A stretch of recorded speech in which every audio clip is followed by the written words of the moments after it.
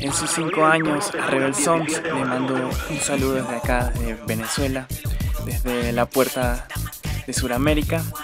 Y les digo que muchos años más ahí estaremos participando siempre con música y sobre todo recibiendo y conociendo la música del mundo a través de este gran proyecto.